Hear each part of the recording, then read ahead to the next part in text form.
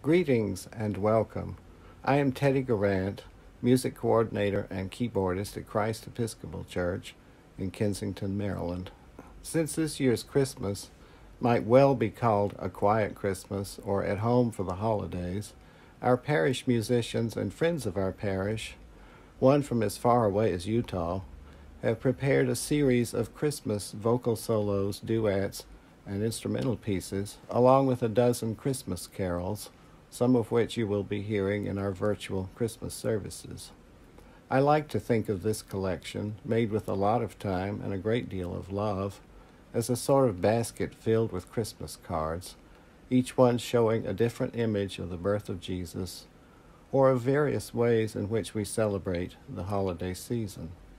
One might enjoy hearing the program in its entirety at one sitting, in which case I recommend a comfortable chair and a glass of something cozy like Mama's hot cider tea, some Christmas cookies, or that slice of fruitcake that you just know you need to finish before the end of New Year's Day. Or one may listen for a while, press the pause button, take something out of the oven, and resume listening at a later time when the household has grown even quieter.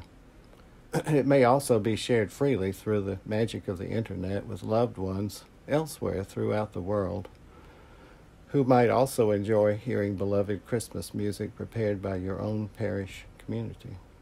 Certainly, I am most grateful for the nine truly outstanding musicians who have joined me in this project, including Christine Taylor, who has cheerfully guided me through the rabbit warren of electronic gadgetry and for the ongoing love and support of our rector, Emily Guthrie. As we now invite you into our homes, so to speak, we hope that you will invite us virtually into yours.